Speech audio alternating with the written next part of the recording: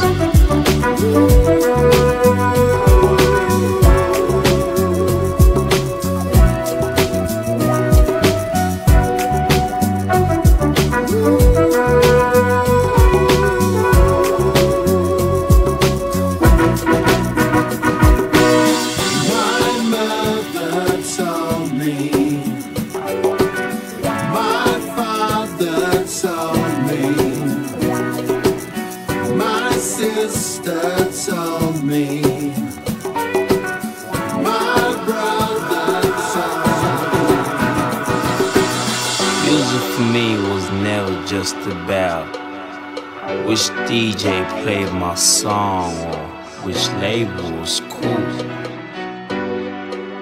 It's always been much more than that. Music has touched generations, liberated cultures, made people fall in love, made people cry.